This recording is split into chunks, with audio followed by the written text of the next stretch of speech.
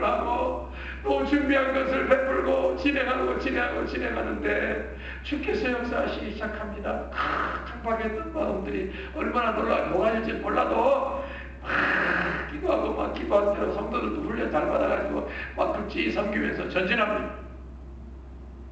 둘째 날은 유명한 박종면 목사 요단선 교회 그 사람도요 얼마나 얼마나 타락하고 마지막 까지 간 사람인지 그야말로 술보래 그 누님과 어머니 이런 가족들이 기도 안에서 아마 죽었을 거예요. 마지막 순간에 구원받은 사람. 얼마나 얼마나 이 머리가 우리 우리 흔히 쓰는 말로 빠가가 됐는지요. 술을 마시면 이 머리에다가 모래를 뭐 기계에다 넣는 것까지 그게 된다면서요. 회개하고 바로 서가지고 성경 한 구절을 외우려는데 한 달 걸렸다고 합니다. 믿어지세요? 사실이에요. 그런데 하나님 역사가 얼마나 놀라운지요.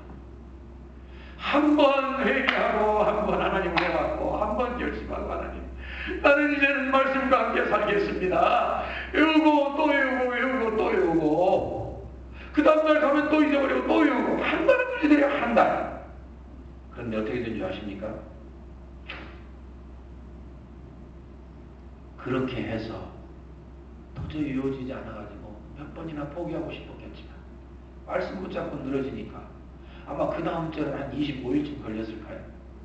크, 지겨운 생애를 말씀 붙들고 하나님 은혜 잊지 않고 전진하고 전진하니까 그 다음에 모든 목사들 중에 제일 말씀 많이 외우는 사람이 됐어요.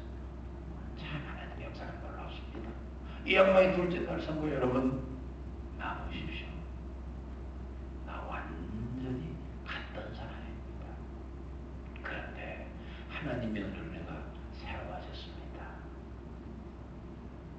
세 번째 날은 아마 이준표 목사님 올라오신 것 같습니다. 그때 뭐 무슨 뭐 목포 집회가 좀 늦게 오셨다고 그러죠. 서서 위로합니다, 여러분. 다들 고생 많이 했습니다.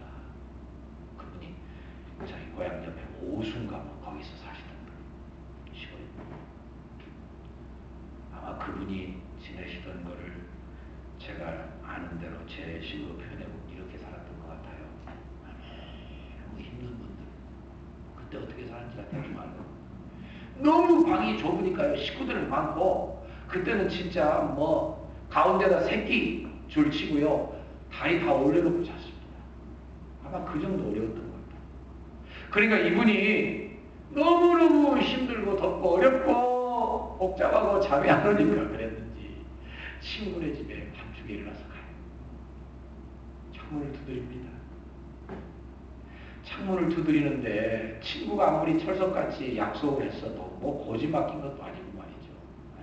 뭐 새는 것도 아니고 새 주인이 온 것도 아니고 자다가 듣고서 문 열어주면 조금 나은 데서 잠을 자고 밤중에 두드리는데 누가 들어요? 못 들으면 그냥 못 들어가고 그 집 친구 집 처마 밑에서 꼬부리고 새우잠, 새우잠을 수없이 반복되는 비참한 인생을 살았어요.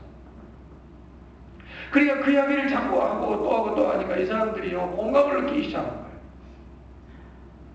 마지막 날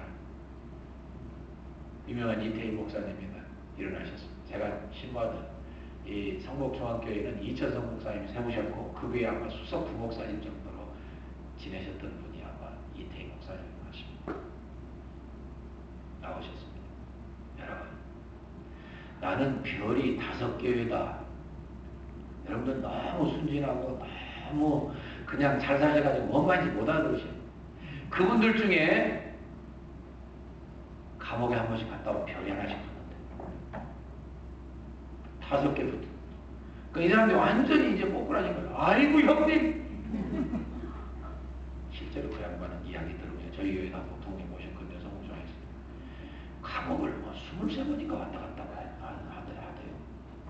그래서 그분이 또 격려합니다. 여러분 네 여러분들 지금 보, 여러분들 보실 때 어떻습니까? 뭐 얼굴하니 괜찮아 보입니까? 나도 인생의 바닥을 수없이 굴러다니면서